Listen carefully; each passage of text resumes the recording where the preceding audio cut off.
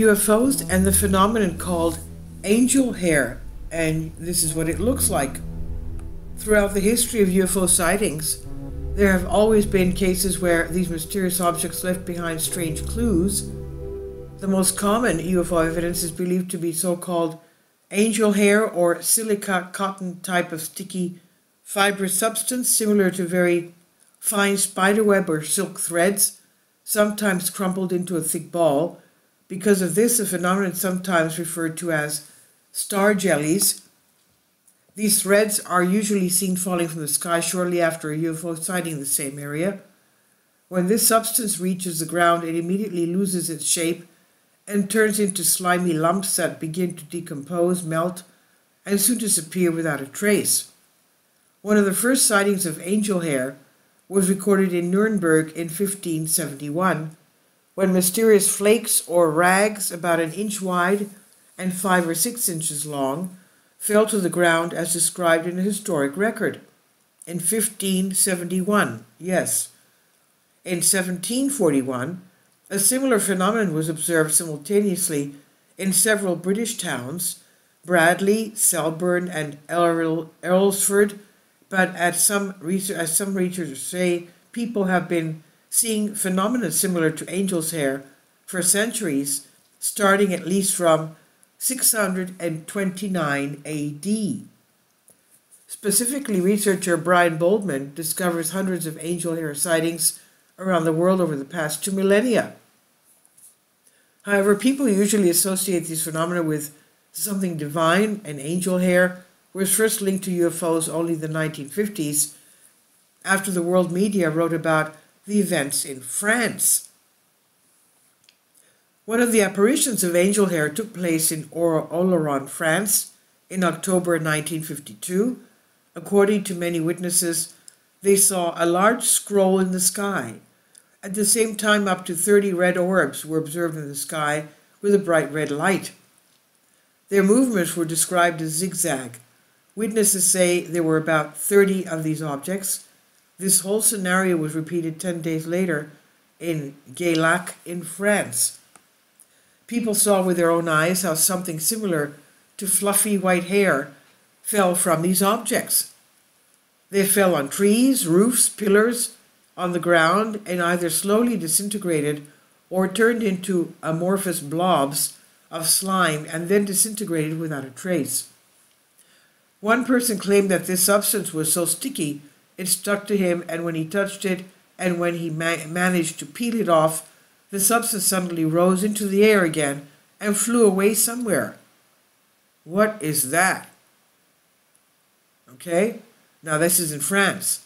Another strange case fo- soon followed in Europe linking UFOs and so-called angel hair. In October 20, on October 27, 1954, two locals named Gennaro Lucetti and Pietro Lascruzzi saw from their balcony in Piazza San Marco in Venice, Italy, two glowing orbs flying across the sky, leaving a trail of fine white matter floating in the wind. This is in 1954. Also in 1954, there was a strange incident when a football match was interrupted due to the fact that a UFO threw angel hair in Florence, Italy, right over the field of fans. It happened October 27 at the Artemio Franchi Stadium, which was packed and, with almost 10,000 fans who watched the match between FC Fiorentina and their local rival Pistoiese and suddenly many people stopped watching the match and looked up to see several egg shaped objects moving slowly in the sky and something silvery and shiny falling from them, which they later described as looking like strands of fiberglass. On November 2nd, 1959, two disc shaped objects appeared over the city of Evora in Portugal and began spewing angel hair. In this case, some of these threads were collected and analyzed. Researchers at the University of Lisbon reportedly examined these filaments under a microscope and gave them a rather strange description as a small organism with 10 limbs extending from central core. A small organism with 10 limbs extending from a central core. What happened to these samples after the study and what they were, it really is unknown. In the 1950s, there were many sightings of UFOs that threw strange strings behind them, so that subsequently UFOs and the angel hair phenomenon were widely recognized as being related to each other.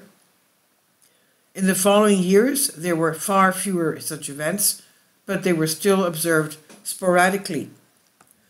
On August 9, 1998, a swarm of 20 UFOs described as shiny silver orbs were seen flying over several rural farms near Quirindi, uh, New South Wales in Australia. USA Today described the case as follows. Residents of the small Australian community swear they saw spider webs falling from the sky after UFOs flew overhead. Dozens of residents called Australia's national hotline after the incident.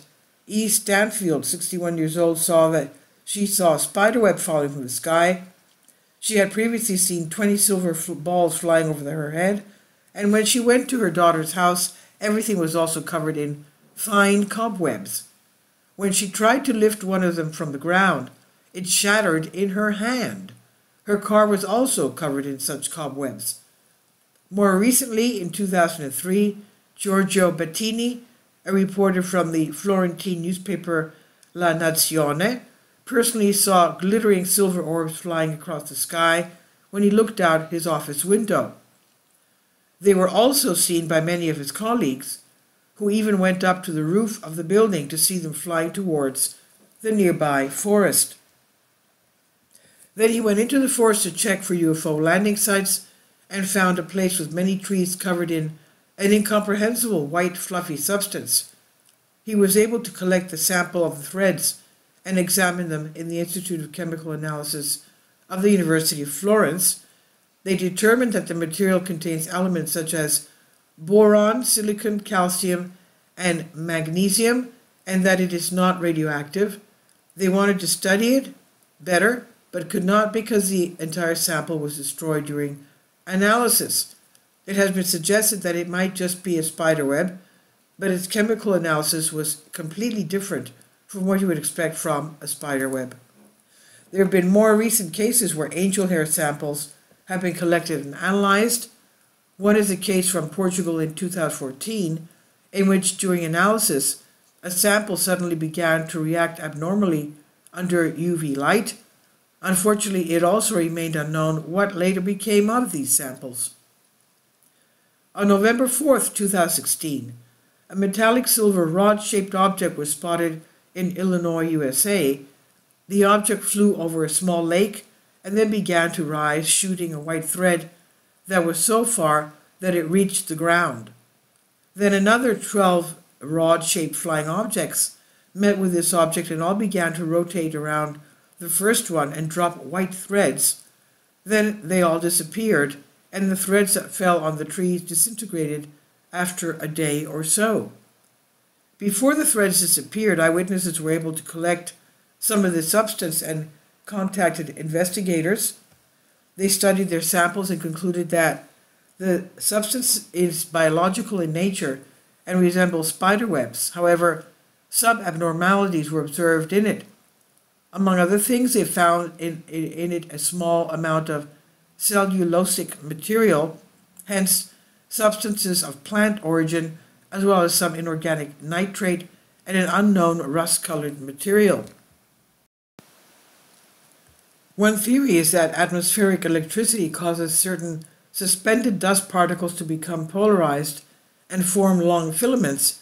Of course, given that many cases where UFOs and angel hair have been seen together, it has been suggested that it could be some sort of byproduct of an alien craft's propulsion system or the electromagnetic field surrounding it. Please leave your comments and thank you for your support. Please support my Patreon account.